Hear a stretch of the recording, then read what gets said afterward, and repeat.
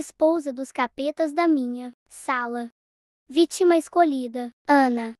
Ana é a menina mais pick-me que eu já vi.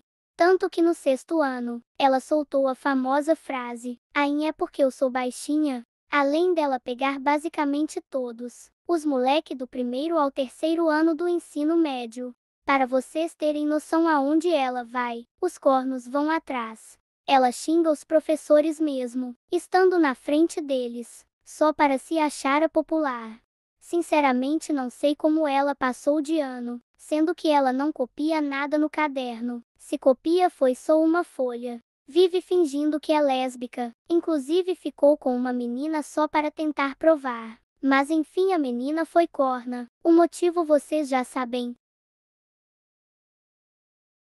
Bom, ninguém suporta ela. Ela fica caçando encrenca com os outros. Inclusive esses dias deu um tapa em um menino da minha sala, Paulo. Como ele não deixa nada quieto, deu outro, os dois foram parar na sala da pedagoga. Bom, mas os dois são bestes friends agora. E ela não deixa o moleque em paz por um segundo e vive pedindo a blusa dele. Sempre tá com uma cara de cu, mas quando ela não está, ela fica rindo com a risada escandalosa dela, de pirraça para irritar os outros.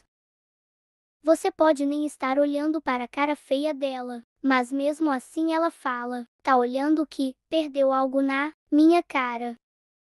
Ela usa os famosos lacres de 2015 e se acha a lacradora. Pensa em uma menina irritante, até a voz desse capeta é irritante. Sete e meia da manhã ela chega com um quilo de reboco na cara. Se der uma bicuda na cara, dela sai tanto pó mais tanto pó, que uma pessoa com rinite que está lá na baixa da égua começa a espirrar. Foi só isso que eu tinha para falar dessa abençoada. Fique com eu fazendo ou ser desse cão.